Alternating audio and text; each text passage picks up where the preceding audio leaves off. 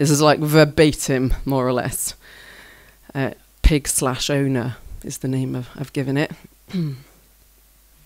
this is, I just imagine two five year olds.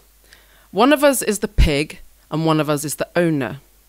You can be the owner first, but you need to find five ways to slaughter me, or else it isn't fair.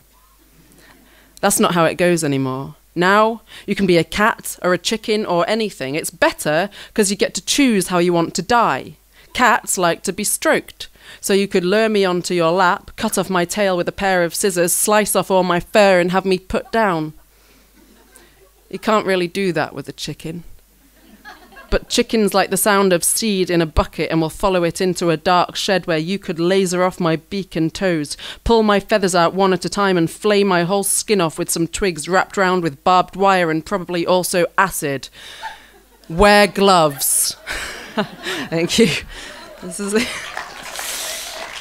Hello, social services.